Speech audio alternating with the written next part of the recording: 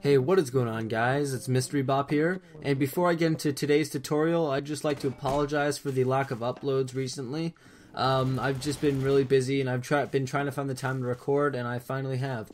So today in this tutorial, I'm bringing you a, step-by-step -step guide on how to prop surf in Trouble in Terrorist Town in Garry's Mod. I hope you enjoy.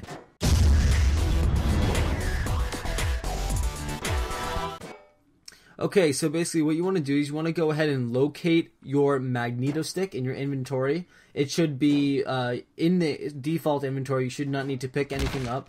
Once you get your magneto stick, you're going to want to find a prop. Now, the props I recommend are uh, in the map Minecraft B5 and rooftops.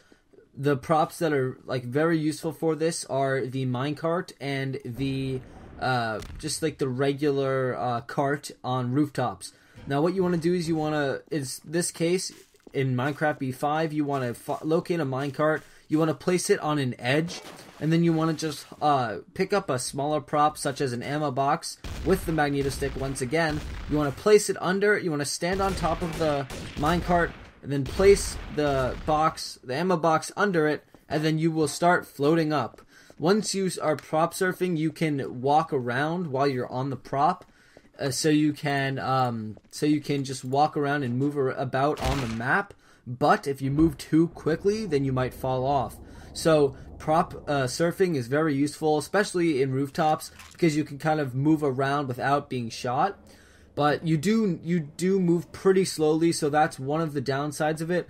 But prop surfing is overall very useful if you need to get to a high place in a quick amount of time, especially like in Minecraft B5. You need to get to the top of the lighthouse Instead of walking up all the stairs and going up the ladders, you can easily just pick up a prop and just start prop surfing. I hope you guys enjoyed this quick tutorial on Garry's Mod. If you liked it, please leave a like rating and subscribe. It really helps me out.